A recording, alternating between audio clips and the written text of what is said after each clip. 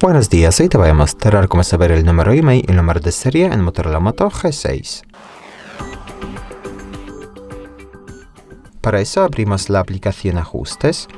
Y aquí más abajo abrimos la pestaña La penúltima, Sistema. Y aquí pulsamos la primera opción acerca del teléfono. Y más abajo podemos ver el número IMEI y para ver el número de serie, uh, bueno, pulsamos modelo y hardware esta opción y el número eh, de serie se encuentra aquí. Muchas gracias por ver el vídeo, te invito a comentar abajo y suscribirte al canal. Hasta luego.